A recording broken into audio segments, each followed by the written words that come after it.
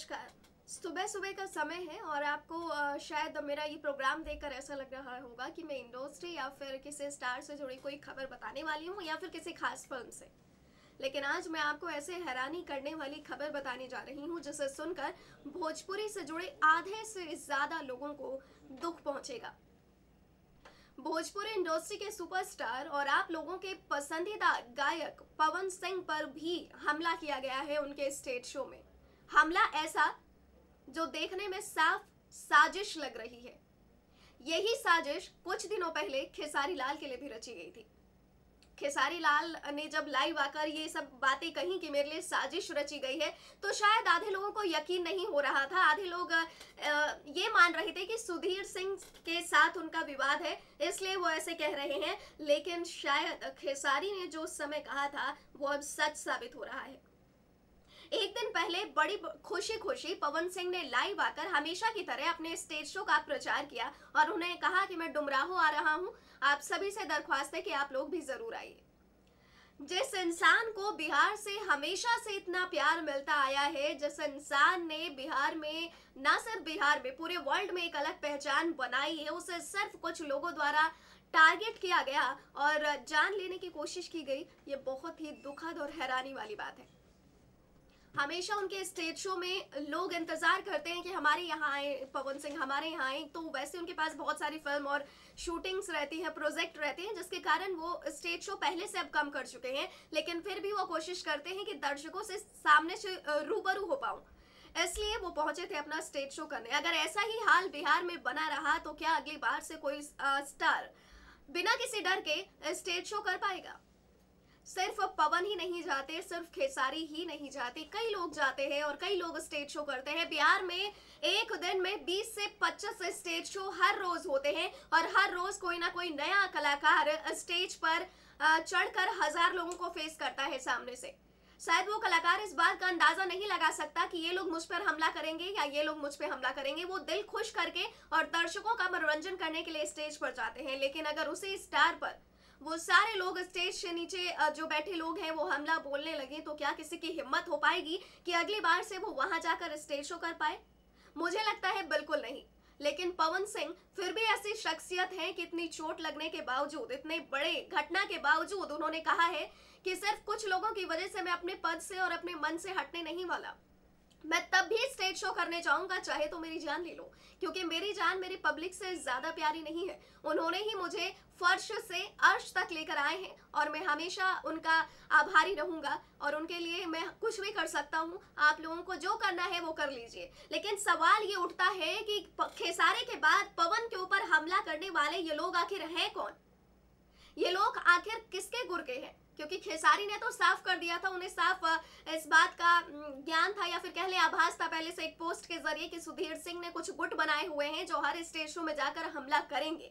खेसारी के समर्थन में कई लोगों ने बोला, लेकिन पवन सिंह समय की कमी की वजह से नहीं बोल पाए। अब उसका कारण वही बता सकते हैं कि वो खेसारी के समर्थन में उस वक्त क्यों नहीं बोले, लेकिन इस वक्त जो उन पर बीत रही है, उस पर सभी लोग अपना गम व्यक्त कर रहे हैं। उनको कई सारे लोगों का सपोर्ट भी मिला है, लेकिन अब सबसे पहले हम आपको वो खबर दिखा देते हैं, जब खबर हमारे हाथ लगी तो क्या खबर सामने आई थी और क्या कारण आ रहा है इसके पीछे का, हमले के पीछे का।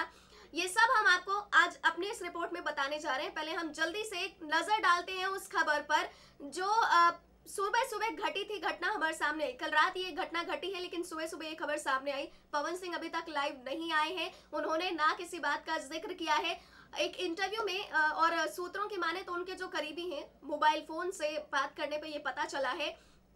कि पवन सिंह किसी पर इल्ज़ाम नहीं लगा रहे हैं और वो किसी एक का नाम नहीं ले रहे कि किसने मुझ पर हमला करवाया है। उन्होंने सिर्फ़ ये बताया है कि हाँ वो साजिश ज़रूर थी, क्योंकि डुमराहों में मैं इससे पहले भी कई बार स्टेज शो करने गया हूँ आरा में और मुझे हमेशा से वहाँ प्यार मिलता रहा है, लेकिन इस बार पता नहीं ये कैसे हुआ। ये बात उन्होंने कही है, लेकिन शायद इस बात का उन्हें भी अंदाज़ा नहीं है कि उनके खिलाफ साजिश हो सकती है। फ़िलहाल चलिए, जल्दी से हम एक खबर दिखा देते हैं जो पवन सिंह की स्टेज शो से ही जुड़ी है, उनके ऊपर हुए हमले से जुड़ी है। देखिए। 8 नवंबर की बीती रात बक्सर के डुमराव में आयोजित स्टेज शो के दौरान कुछ असामाजिक तत्वों ने भोजपुरी के सुपरस्टार, नायक और गायक पवन सिंह की गाड़ी और कलाकारों के दल पर ईट पत्थरों से हमला किया।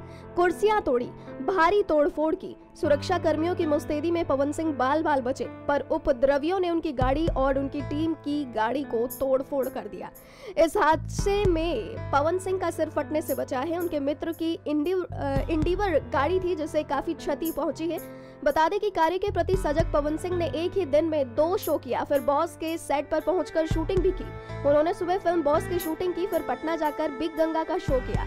वहाँ से डुमराव में शो करने पहुँचे, जहाँ उपद्रवियों की वजह से शो बंद करना पड़ा।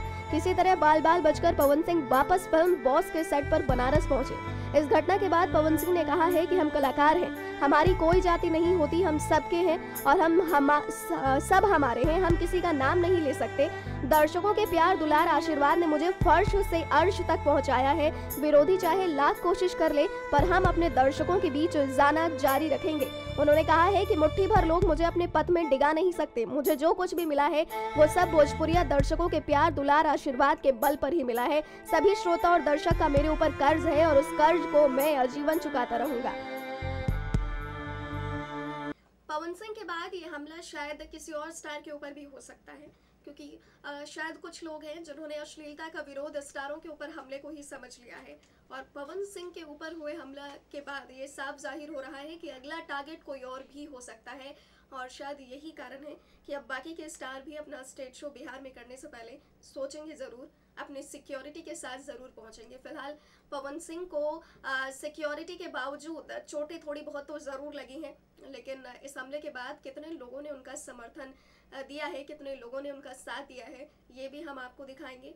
लेकिन पवन सिंह की खबर जैसे ही लोगों तक पहुँची, भोजपुरी स्टारों तक पहुँची, नेताओं तक पहुँची कई लोगों ने उनको फ़ोन करके उनसे पूछा है, उनका हालचाल लिया है, कई लोगों ने दुख व्यक्त किया है, कई लोगों ने सपोर्ट किया है, लेकिन ये बहुत ही निंदनीय है कि अगर जिस गाने को आप इतना समझते हैं, अब मान लीजिए अश्लीलता फैली है, अश्लीलता का कारण आप खेसारी, पवन और निरहुआ को समझ रहे हैं तो फिर जब ये लोग ये गाना गा रहे थे, तब आपने इनके गाने क्यों सुने?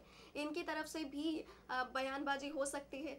लेकिन आप ये भी देखिए कि इन तीनों ने ही अच्छे अच्छे गाने भी इंडस्ट्री को दिए हैं और ऐसी काफ़ी सारी बातें हैं पवन सिंह के बारे में, जो लोग नहीं जानते।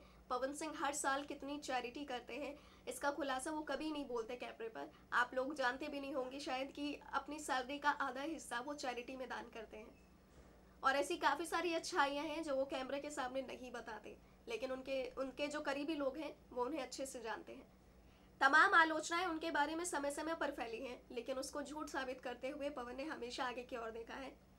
अभी जो उनके खिलाफ साजिश रची गई है, उसके खिलाफ भी उन्होंने कोई गुस्सा व्यक्त नहीं किया है, या फिर किसी के लिए कैमरे पाकर जहर नहीं उगला अभी तक।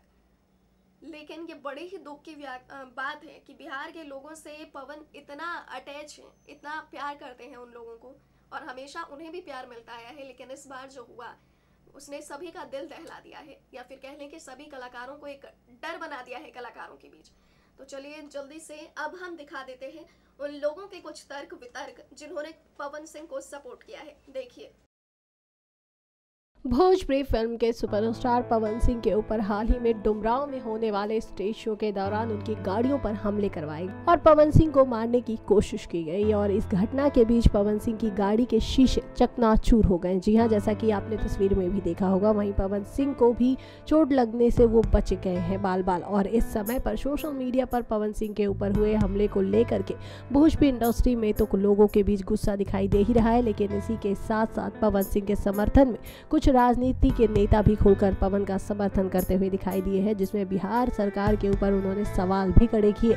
जिसमें एक पहला नाम आता है बीजेपी के तरफ़ से बिहार कला संस्कृति के अध्यक्ष वरुण कुमार ने। जी हाँ बिहार सरकार को लेकर कहा है कि वो बिहार सरकार को पत्र लिखकर ये जानने की कोशिश करेंगे कि इस समय पर भोजप्रिया सितारों के साथ इस तरह की जो घटनाएँ सामने आ रही है, उस पर बिहार सरकार अपनी तरफ़ से कोई भी एक्शन क्यों नहीं ले रही?